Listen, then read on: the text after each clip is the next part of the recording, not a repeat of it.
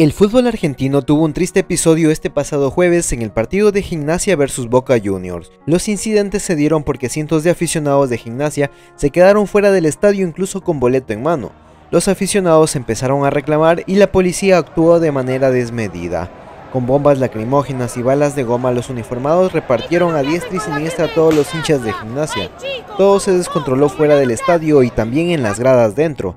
El partido tuvo que ser suspendido por falta de garantías y las imágenes que nos ha dejado parece una guerra campal.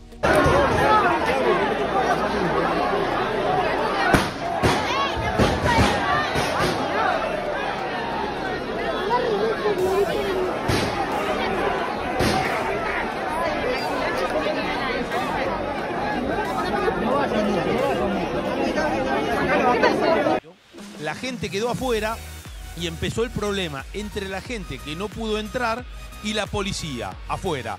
Y bueno, y este lío terminó con, eh, con que la policía tiró los gases lacrimógenos y bueno, y se armó este, este problema donde Mastrangelo los mandaba a todos al vestuario. Mirá Marcelo cómo Marcos Rojo tiraba agua, botellitas de agua mineral a la tribuna porque hay mucha gente en la tribuna que está complicada por los gases un aficionado perdió la vida mientras era llevado a un centro de salud debido a los gases, un camarógrafo de T6 Sport herido por la misma policía y tres aficionados internados graves es el saldo que dejó este episodio en el fútbol argentino. Acá empieza a pasar todo. Desesperación de la gente. Pero primero que se van, se van yendo. Claro. Pero se, encuentran con que la puerta está cerrada. La puerta cerrada. El partido en desarrollo. Todavía. Claro, acá todavía no se paró el partido. Mirá todos los chicos que hay. ¿eh? Mirá todos los chicos que hay.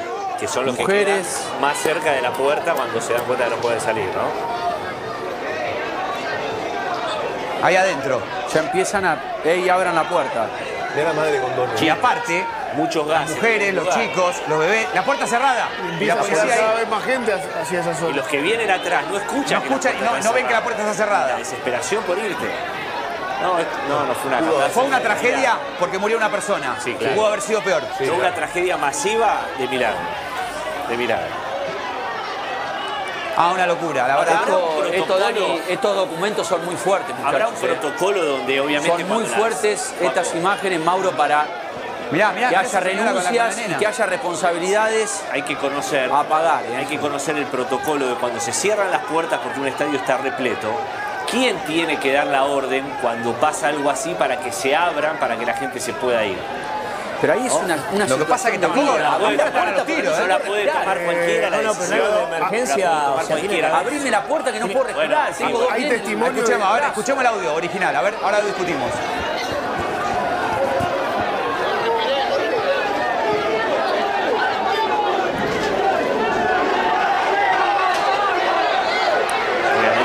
Mira, ahora lo seguimos viendo.